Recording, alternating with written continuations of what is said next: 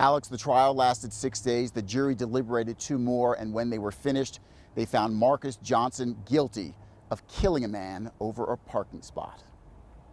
He was a star football player at Overland High School in Aurora and then at CU Boulder before playing for one year in the NFL.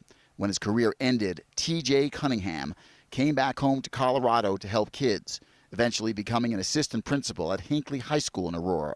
Three years ago, prosecutors say Cunningham became involved in an ongoing dispute with Marcus Johnson about a parking spot in the neighborhood where they both lived. According to prosecutors, the two men agreed to settle the dispute in the parking lot of Eaglecrest High School, where prosecutors say Johnson then shot and killed Cunningham. On Thursday, Johnson showed no emotion when the jury found him guilty of second degree murder. This is a death over a parking spot, it's over a parking dispute. Um, this type of thing should just never happen. After the verdict, the lead prosecutor on the case reflected on the tragedy of Cunningham's death and his legacy in the community. He grew up in this community and he wanted to help kids um, who were like him not follow an, uh, a dangerous path. So he was really beloved by the community. Um, and then this, this happened.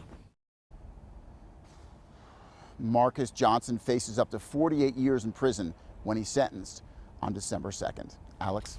When you talk about a senseless murder and a loss to the community, this one's right there at the top.